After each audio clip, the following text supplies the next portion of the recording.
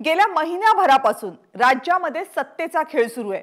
बंडखोरी मुख्यमंत्री उपमुख्यमंत्री कोण गद्दार कोण निष्ठावान कुणाला कोणतं निवडणूक चिन्ह या अशा राजकारणात राज्यातला शेतकरी मात्र सध्या वाऱ्यावर असल्याचं चित्र स्पष्टपणे समोर आले राज्यामध्ये शिंदे सरकार येऊन पंचवीस दिवस उलटलेत पण जुलैमधल्या पावसामुळं नुकसान झालेले शेतकरी अजूनही मदतीच्या प्रतीक्षेत आहेत. जुलैमध्ये झालेल्या पावसामध्ये राज्यातली तब्बल आठ लाख हेक्टरवरची पिकं पाण्याखाली गेली.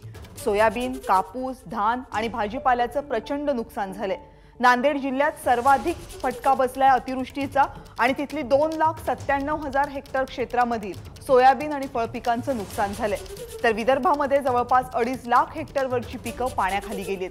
वर्धा नागपूर गडचिरोली इथे पावसाचा सगळ्यात जास्त फटका बसलाय.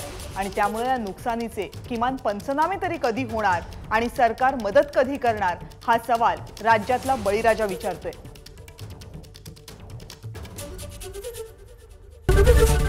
एबीपी माझा. उघडा डोळे बघा नीट.